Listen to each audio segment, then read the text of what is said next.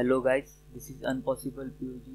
Today I shall teach you how to set today's date as default value in date input type that is in calendar. First make sure to start the WAMP server. Then create PHP file and call default time zone function. Because I live in India, I type Asia slash Kolkata. But for your country, it is different.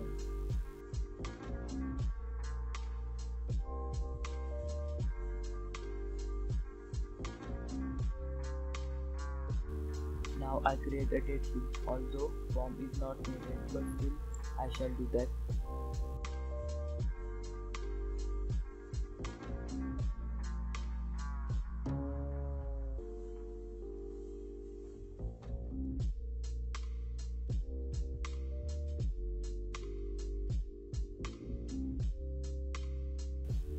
Now let's check if the form came or not.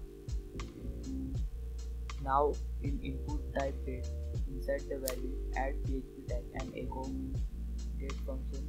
Then in single quote, type capital Y dash M dash D.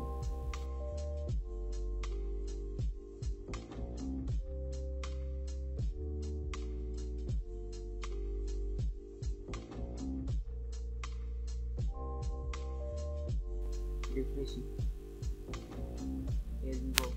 Get the required result. So that's it guys. Don't forget to like, share and subscribe. Thank you for watching and I shall see you in the next video. Peace.